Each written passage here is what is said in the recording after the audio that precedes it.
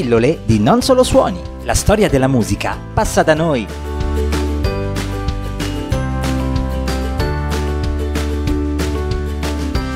Ben ritrovati, andiamo oggi al 1980, questo l'anno in cui un grande cantautore e musicista, ma in generale un artista tutto tondo come Elton John ha pubblicato White Lady, White Powder. Si tratta di un brano molto amato da tanti fan, ma anche odiato, odiato per il riferimento alla white powder, la polvere bianca, ossia la cocaina. Il titolo e poi il testo infatti sono traducibili letteralmente come eh, la donna bianca o donna in bianco, polverina bianca. A scrivere la lirica lirica è stato il socio artistico di sempre di Elton John, cioè Bernie Taupin, e appunto il riferimento esplicito è alla cocaina. Il protagonista del brano infatti ama una donna che però è solita assumere questa droga e quindi si fa coinvolgere anche lui da questo giro. White Lady, White Powder potrebbe essere allora eh, un po' ritenuta come una canzone ironica, dato che Elton John era eh, noto per aver assunto a sua volta la cocaina fino alla fine degli anni anni 80, mentre poi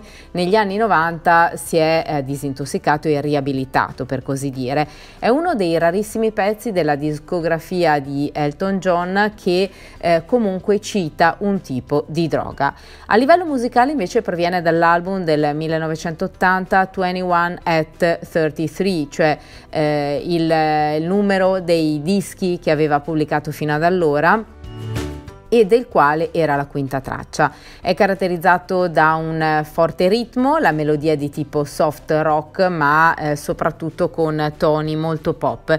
I critici nel corso degli anni hanno sempre apprezzato molto le chitarre e il pianoforte di Elton John, che aprono la canzone, ne caratterizzano anche alcune brevi parti strumentali. Fondamentali ai cori anche Don Hinley, Glenn Fry, Timothy Schmidt, mentre eh, membri tutti della rock band degli Eagles. Beh, abbiamo fatto riferimento poi all'album da, di cui appunto fa parte questo brano, si trattava del ventesimo disco, il quattordicesimo in studio del cantautore britannico, pubblicato dalla The Rocker Record Company e dalla MCA Records nel maggio del 1980. Registrato ai Super Bear Studios di Nizza in Francia, segnò la ripresa di Elton John dopo la breve parentesi disco e il titolo indicava proprio il numero totale degli album pubblicati fino a quel momento, per l'appunto 21, perché i eh, doppi album sono contati per due, mentre non sono conteggiati né eh, The Tom Bell Sessions né Lady Samantha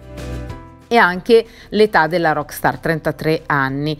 Ricco di collaborazioni con musicisti presumibilmente coordinati da James Newton Howard, si presentava come un album di stampo pop rock con degli ottimi spunti artistici ma anche commerciali.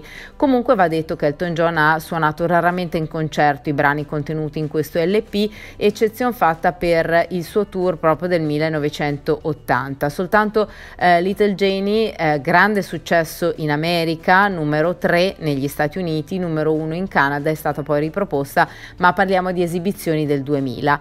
Eh, 21 at eh, 33 segna anche la riappacificazione di eh, Elton John con il suo paroliere che abbiamo citato, Bernie Taupin. I testi di alcuni ehm, brani dell'LP sono stati scritti proprio da lui ehm, e soltanto nel 1983 con l'album eh, eh, Too Low eh, for Zero sarà però possibile parlare di una vera e propria reunion tra i due.